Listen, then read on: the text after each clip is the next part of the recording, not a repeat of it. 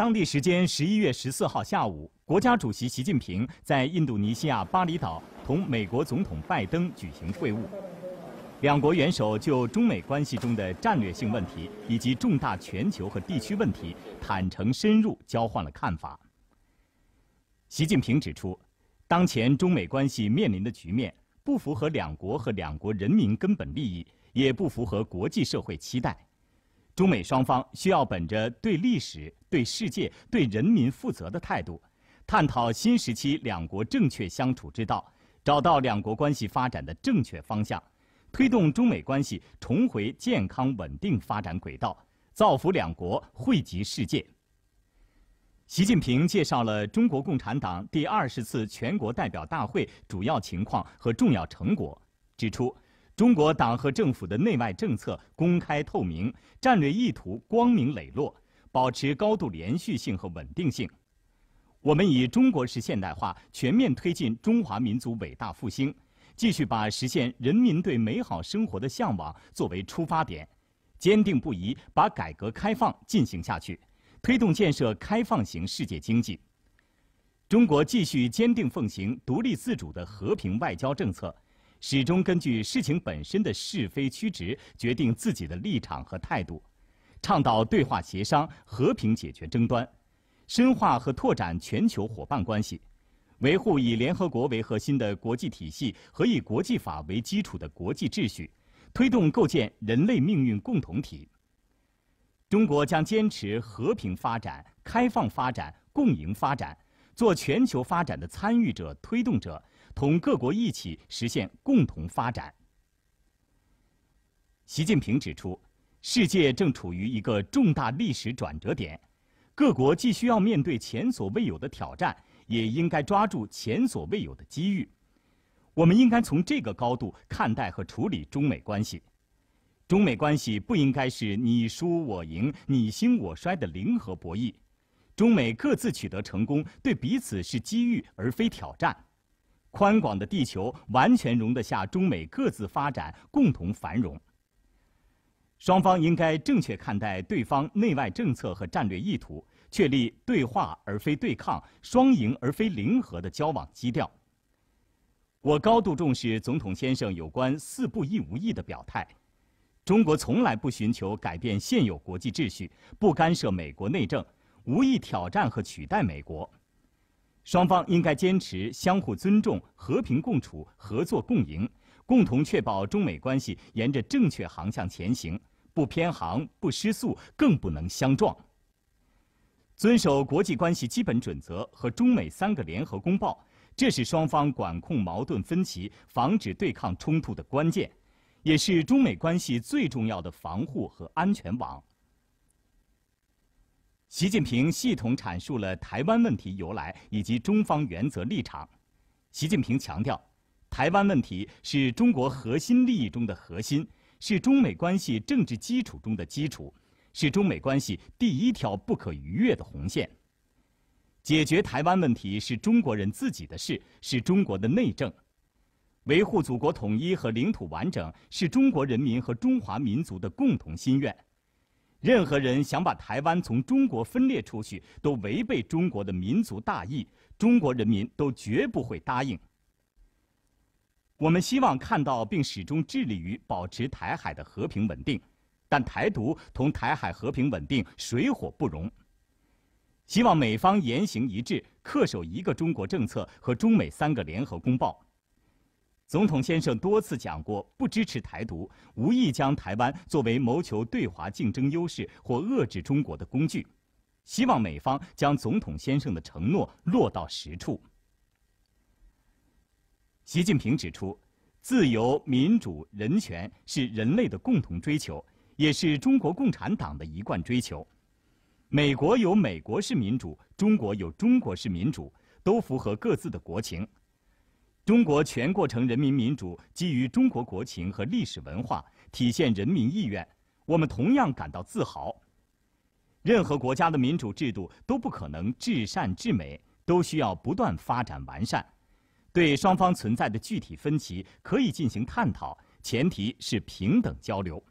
所谓民主对抗威权，不是当今世界的特点，更不符合时代发展的潮流。习近平指出，美国搞的是资本主义，中国搞的是社会主义，双方走的是不同的路。这种不同不是今天才有的，今后还会继续存在。中国共产党领导和中国社会主义制度得到十四亿人民拥护和支持，是中国发展和稳定的根本保障。中美相处很重要一条就是承认这种不同，尊重这种不同，而不是强求一律，试图去改变甚至颠覆对方的制度。美方应将有关承诺体现在具体行动上，而不是说一套做一套。习近平强调，中美是两个历史文化、社会制度、发展道路不同的大国，过去和现在有差异和分歧，今后也还会有。但这不应成为中美关系发展的障碍。任何时候，世界都有竞争，但竞争应该是相互借鉴、你追我赶、共同进步，而不是你输我赢、你死我活。中国有自强不息的光荣传统，一切打压和遏制只会激发中国人民的意志和热情。打贸易战、科技战，人为筑墙设垒，强推脱钩断链。完全违反市场经济原则，破坏国际贸易规则，只会损人不利己。我们反对把经贸科技交流政治化、武器化。当前形势下，中美两国共同利益不是减少了，而是更多了。中美不冲突、不对抗、和平共处，这是两国最基本的共同利益。中美两国经济深度融合，面临新的发展任务，需要从对方发展中获益。这也是共同利益。全球经济疫后复苏、应对气候变化、解决地区热点问题，也离不开中美协调合作，这还是共同利益。双方应该相互尊重、互惠互利，着眼大局，为双方合作提供好的氛围和稳定的关系。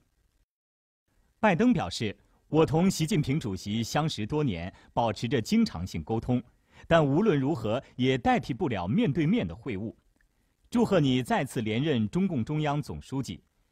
美中作为两个大国，有责任保持建设性关系。美方致力于保持两国元首以及政府各层级沟通渠道畅通，就双方存在分歧的问题开展坦诚对话，为应对气候变化、粮食安全等重要全球性挑战加强必要合作，发挥关键作用。这对美中两国和两国人民至关重要。对整个世界也十分重要。我愿重申，一个稳定和发展的中国符合美国和世界的利益。美国尊重中国的体制，不寻求改变中国体制，不寻求新冷战，不寻求通过强化盟友关系反对中国，不支持台湾独立，也不支持两个中国、一中一台，无意同中国发生冲突。美方也无意寻求同中国脱钩。无意阻挠中国经济发展，无意围堵中国。拜登表示，美中关系如何发展，对未来世界走向至关重要。美中双方有共同责任，向世界展示美中能够管控分歧，避免和防止由于误解、误判或激烈竞争演变成对抗甚至冲突。美方认同应确立指导美中关系的原则。可由双方团队在已有的共识基础上继续谈下去，争取尽早达成一致。